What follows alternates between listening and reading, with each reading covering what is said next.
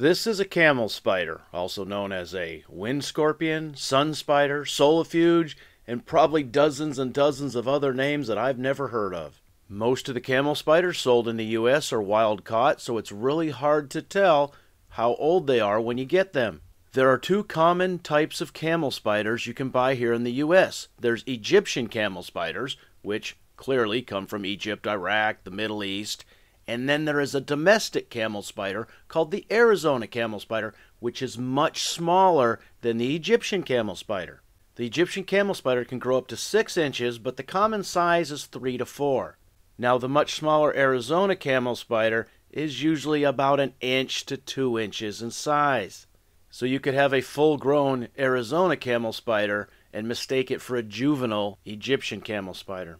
Camel spiders are big and they are very fast, but don't fall for the memes you see on the internet where they are using fish arms. You know, where you take the fish and you put it really close to the camera to make it look bigger.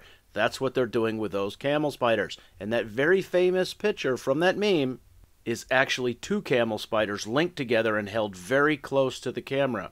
Yes, camel spiders are big, but they are not nearly as big as the urban legends suggest.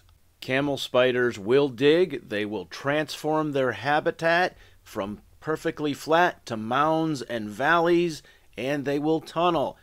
Oftentimes, tunneling down into the sand to not be seen for weeks or months at a time.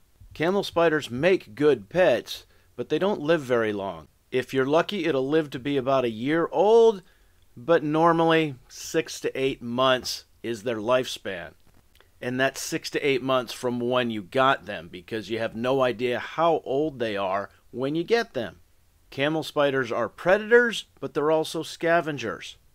In captivity, crickets are a perfect meal for a camel spider.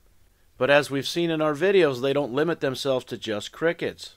They have also been known to eat the food put in the habitat for the crickets. In the wild, they can be predators or scavengers.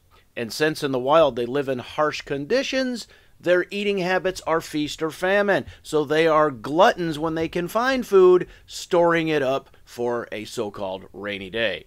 So now you know a little bit more about camel spiders. Leave your comments in the comment section. As always, thanks for watching.